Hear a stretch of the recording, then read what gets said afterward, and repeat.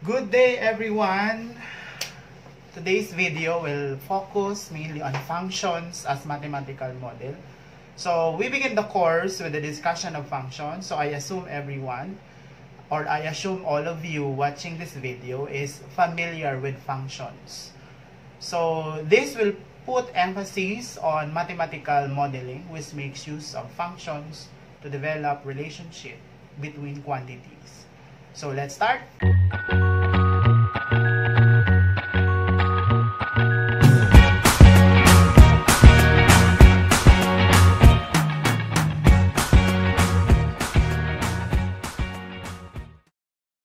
In many applications of calculus, uh, one is usually expected to express certain problems as a functional relationship between certain quantities.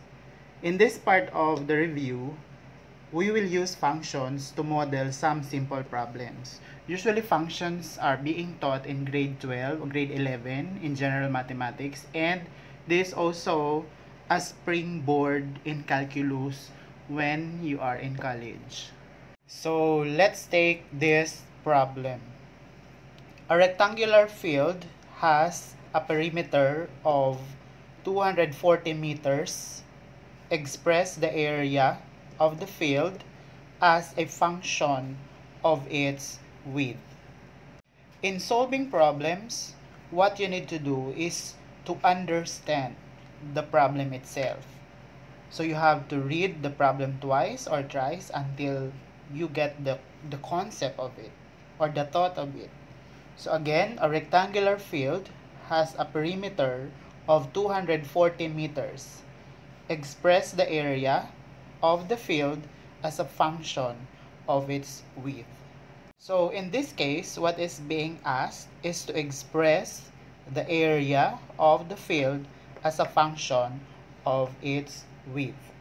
So since we didn't know the, the width and we didn't know the dimension, so we're going to assign x and y as the width and the length. Usually, you have to express that in meters respectively. Then, the area of the field is given by A. So, if we're going to write now the representation, in geometry, area is denoted by length times width. So, algebraically, so since we're going to represent x and y as the dimension, so x, y as the representation.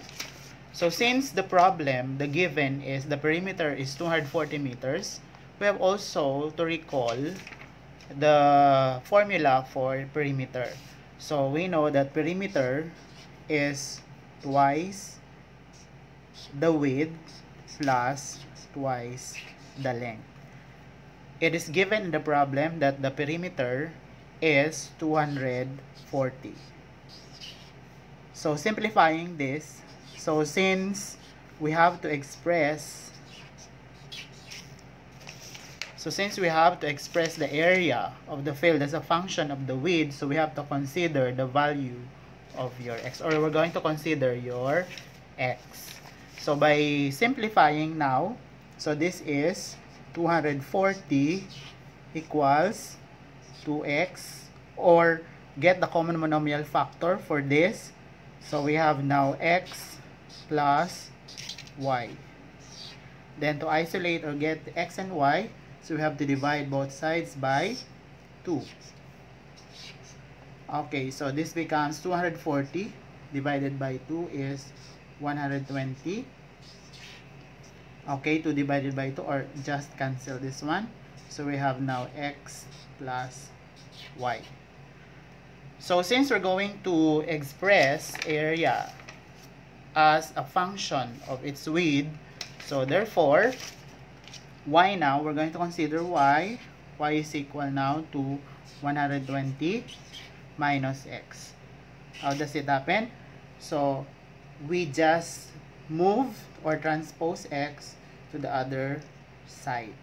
So by commutative property, so we have now y is equal to 120 minus x. We are not yet done. So since we're going to express this again, we express the area of the field as a function of its width.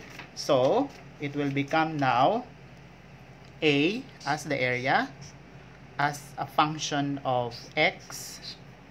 So, this is equal to x now times 120 minus x.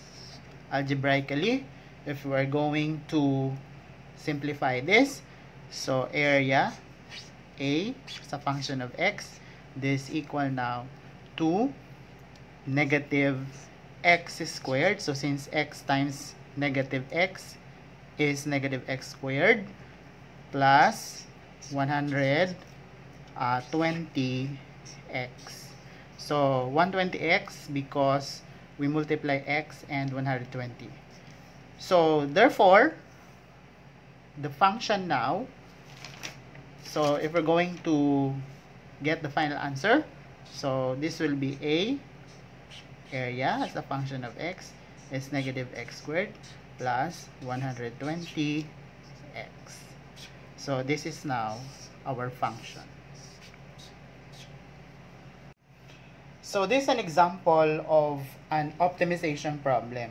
So to find the solution to such problem, one is required to express one is required to express the quantity to be optimized as a function of another quantity. So usually this method is used in calculus. But this also lesson in grade 11 general mathematics. I hope you learned something. So next video, maybe I guess I have to discuss how to evaluate function.